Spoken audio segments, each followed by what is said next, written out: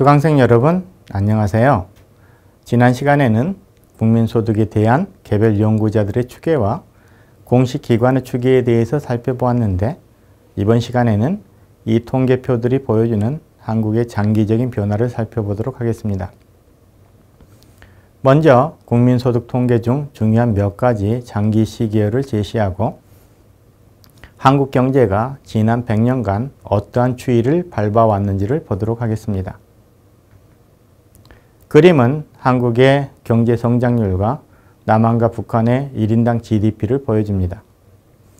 1912년에서 1942년 남한의 연평균 성장률은 2.8%로 북한은 4.2%에 비해 다소 낮았습니다.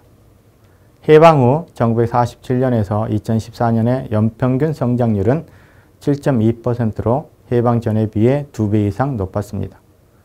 다만 시기별 부침이 있는데 1965년부터 30년간 지속된 고도 성장 기에는 9.6%로 높았고 그 전후에는 성장률이 점차 상승했다가 하락하는 역유자형의 양상을 보이고 있습니다. 1인당 GDP는 1912년에서 1942년간 1.6배, 해방 후 1954년에서 2014년간 29.3배로 증가했습니다. 북한의 1인당 GDP는 1912년에서 1942년간 2.2배 증가하고 증가해서 한국보다 더 컸지만 해방 후에는 거의 성장하지 못하여 한국과의 격차가 벌어지고 있습니다. 그림은 경제활동별 부가가치의 구성비를 제시한 것입니다. 농림수산업의 비중이 일제강점기 초기에 70%에 가까웠던 것이 급락하여 최근에는 2%대로 떨어졌습니다. 그 반면에 관공업, 전기건설업, 서비스업의 비중이 높아졌는데 서비스업, 서비스업을 제외하면 1990년대 이후에는 비중이 정체 내지 하락하였습니다. 이러한 산업 구성의 변화 추세는 해방 전후와 한국 전쟁기에 일시 후퇴하기도 했지만 전체 시기에 걸쳐 일관되게 지속되었음을 알 수 있습니다. 해방 전에는 남한의 구성비와 남북한의 구성비를 함께 제시하였는데 북한을 포함할 경우 1930년대 이후 농림수산업이나 서비스업의 비중이 하락한 반면 관공업과 전기건설업의 비중이 빠르게 높아졌습니다. 이 시기에 북한을 중심으로 전개된 전력 개발과 공업화의 영향을 읽을 수 있습니다. 그림은 지출 항목의 GDP 대비 비율을 보여줍니다. 민간 소비는 GDP의 90% 전후에서 50%로까지 떨어진 반면 총 고정자본 형성은 5% 미만에서 30%대로 상승하였습니다. 수출과 수입의 GDP 대비 비율은 해방 전에 빠르게 상승하여 30% 전후에 달했지만 해방 후 거의 붕괴되다시피 한 후 다시 상승하여 50% 전후로까지 높아졌습니다. 해방 전과 후에 정도의 차이는 있지만 투자와 무역의 확대가 경제 성장을 주도하는 양상을 보였습니다. 다만 투자율은 1990년대 초를 정점으로 하여 하락 또는 정체로 돌아섰습니다.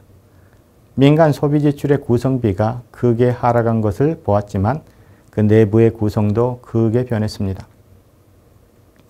그림은 가계 소비의 목적별 및 형태별 구성비 추이를 보여줍니다. 그에 따르면 가계 소비 중 음식료비가 차지하는 비중은 엥겔 개수라 불리는데 엥겔 개수는 일제강점기 초에는 70%를 넘는 수준에서 2000년대 이후는 15%로 떨어졌습니다.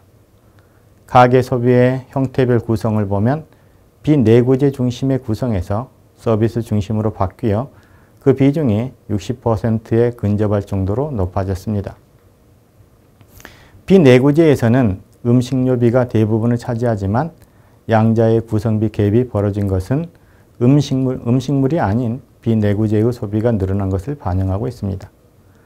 또 하나 주목할 것은 내구재 소비가 특히 1980년대 이후 10% 수준으로 높아졌는데 가전이나 자동차 등의 보급이 영향을 미쳤습니다. 그림은 국민 총 저분 가등소득 중에서 저축 또는 투자되는 비율이 어느 정도인지를 보여줍니다. 해방 전의 총 저축률은 작물의 풍용으로 인한 기복이 심하며 평균 7% 수준에 머물렀지만 해방 후 지속적으로 증가하여 1980년대 말에는 40%에 달할 정도로 높아졌습니다. 저축률의 증가에 힘입어 투자도 급속히 늘어났는데 국내 총 고정 투자율은 1990년대에 37%까지 높아졌습니다. 저축률과 투자율은 근래에 다소 하락하였지만 다른 나라와 비교하여 상당히 높은 수준을 보였습니다. 국내 총 고정 투자율은 대체로 총 저축률을 능가하는 해가 많았는데 그 차액은 해외로부터의 자본 유입으로 메워졌습니다. 국내 투자, 국외 투자율이 마이너스로 된 경우가 그러합니다. 1930년대나 1960년대 후반에서 1980년대 초까지는 해외 자본에 크게 의존하는 형태로 투자가 급속히 늘어났음을 알 수 있습니다. 근래에는 투자보다 저축이 더 많아 거꾸로 해외로 투자가 늘어나고 있습니다. 1950년대에서 1960년대 전반에는 해외 자본의 유입보다는 원조에 대한 의존이 매우 높았습니다. 지금까지 국민소득 통계 중 중요한 몇 가지 장기 시기를 제시하고 한국 경제가 지난 100년간 어떠한 추이를 밟아왔는지를 살펴보았습니다.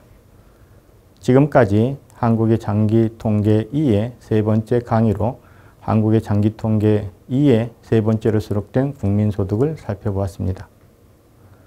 다음 시간은 국민소득 추계를 담당하신 필자를 모시고 국민소득 추계가 기존의 국민소득 추계와 어떠한 차이가 있는지 이야기를 나눠보도록 하겠습니다.